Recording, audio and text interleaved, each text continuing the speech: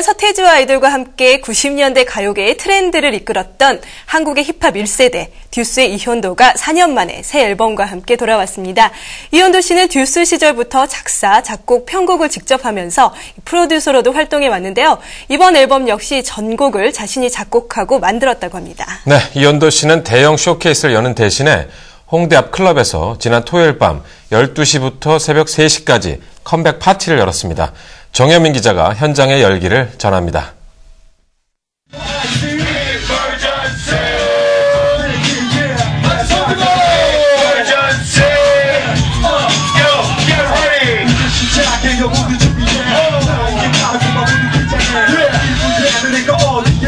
이연도가 새 앨범 New Classic and Don't Stop을 발표하면서 컴백 파티를 열었습니다.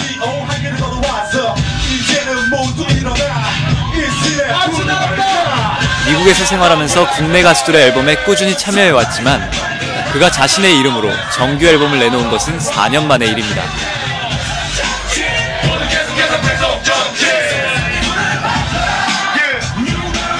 4년 만에 공식적인 앨범으로 또 다시 여러분께 인사를 드렸는데 뭐 감회가 새롭습니다. 만감이 교체하는 면도 있고 또 좋다는 그런 의미에서 예좀 낯설지만 어쨌든 고향에 돌아온 것 같습니다.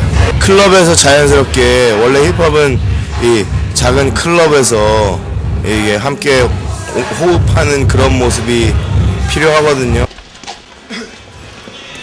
밤 12시 드디어 이현도는 4년 만에 단독 공연을 위해 클럽으로 이동합니다. 자신감 넘치는 이현도지만 오늘은 조금 긴장한 모습입니다. 부탁 좀 드릴게요.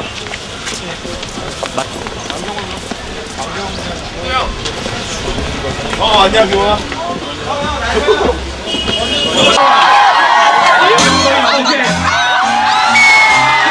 마침내 이현도가 무대에 올라서자 팬들의 환호가 가득합니다.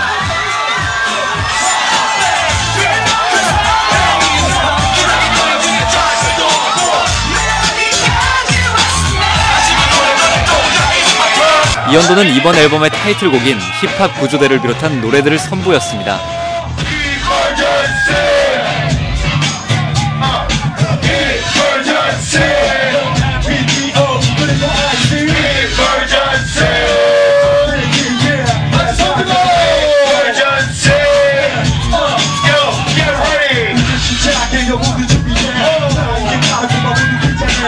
몇 차례 공연을 멈추고 앞으로 몰려드는 팬들을 정리해야 했을 정도로 현장의 열기는 뜨거웠습니다. 저기요 아까랑 똑같지만 한 발짝씩 좀 뒤로 가주세요 그래야 멋있게 공연할 수 있으니까 현도 형 오랜만에 왔는데 반가운 건 알겠는데요 어, 반가운 거를 좀 더 보여주고 싶으면 질서 정연한 모습 좀 보여주세요 예. 10대건 20대건 힙합을 사랑하는데 상관은 없다고 생각하는데요. 제 자신이 10대만을 위해서 하는 음악은 이미 20년 전에 전 지났다고 생각합니다. 하지만 뭐 10대라고 해서 뭐 20대, 30대라고 해서 40대라고 해서 저의 이런 음악을 뭐 느끼는데 거부감이 없으시다면 세대는 상관없다고 생각해요. 야 어디로 어떻게 가야 되는지 네가 좀 챙겨 첫 번째 클럽에서 무사히 공연을 마친 이현도는 바로 두 번째 무대로 이동하기 위해 홍대 거리로 나섰습니다. 이현도를 따라 움직이는 클럽 관객들이 붐비는 홍대 앞 거리는 이미 밤 1시의 풍경이 아닙니다. 죄송한데.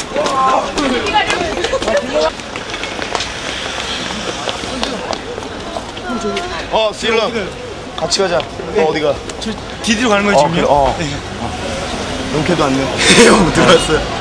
그래도 4년 만에 첫 공연 하셨는데 어떤 것 같아요? 관객 앞에 딱 처음 섰는데. 감기 예 감기가 무량해요.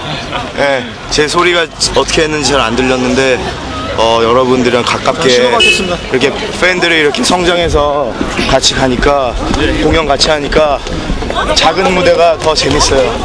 안으로 들어왔죠? 좀 들어왔죠? 그래서 나 바쁠 때. 아니 이거 이거 형님 뭐. 좋은 거 받았어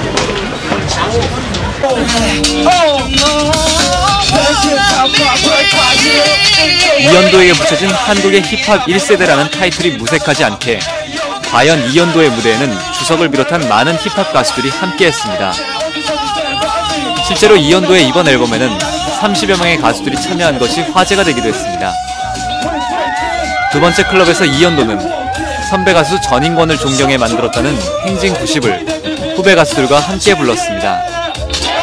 전인권 선배님 제가 개인적으로 너무 좋아하는 분이거든요. 그분의 들국, 예, 들국화의 그 정신을 본받아서 저희도 계속 행진한다는 의미에서 노래 제목은 행진 90입니다. 행진 90 가겠습니다.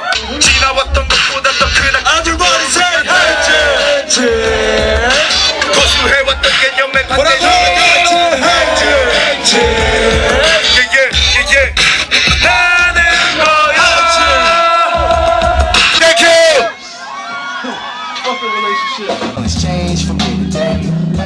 두 번째 공연을 마치고 나자 이미 밤 2시가 넘었지만 이연도는 마지막 클럽 공연장으로 또 이동합니다. 이연도를 만져보려고 하는 팬들, 말을 거는 팬들, 소리를 질러 응원하는 팬들로 거리는 또 한 번 소란스러워졌습니다.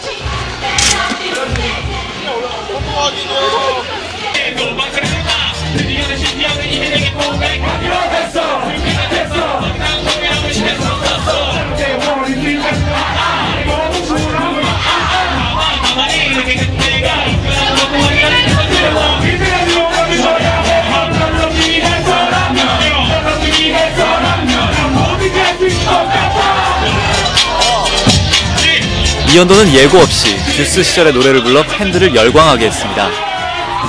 밤 12시부터 3시까지 계속된 이연도의 컴백 파티를 마무리한 노래는 역시 이번 앨범의 타이틀곡 힙합 구조대였습니다.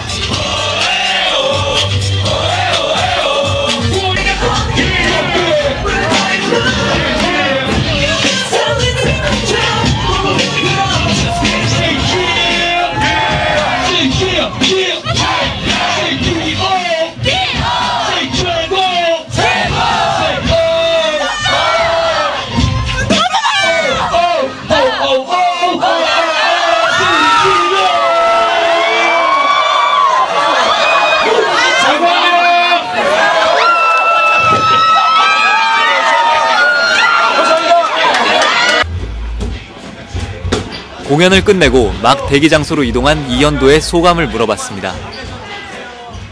저의 음악을 이런 방식으로 알릴 수 있다는 것도 어, 음악을 만드는 사람으로서 즐거움이라고 생각이 드네요. 아 그거 듣고 깜짝 놀라가지고 가슴이 그때부터 두근두근 되는 거예요. 예, 그때부터 재밌었습니다. 처음부터 재밌었죠. 공연을 현장에서 보니까 너무 진짜 감회가 새롭고요. 네, 핸드폰을 주려고 카드 썼거든요. 오늘 공연 너무 멋있었습니다. 파이팅! 점점 더 화려한 쇼케이스로 컴백하는 것이 유행이 돼버린 시기에 팬들과 직접 교감할 수 있는 클럽에서 이연도가 연 컴백 파티는 그래서 더 의미가 있습니다. 어, 이 시간 이후에도 이 방송을 보신 이후에도 저는 클럽 위주의 공연을 어, 서울을 중심으로 몇 개의 도시에서 계속 해나갈 예정이니까요.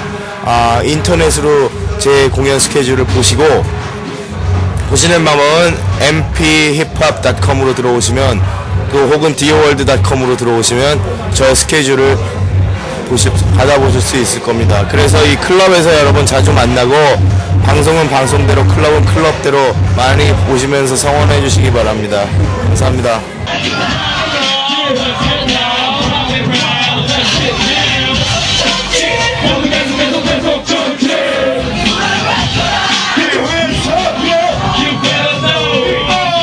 YTN 스타 정효민입니다.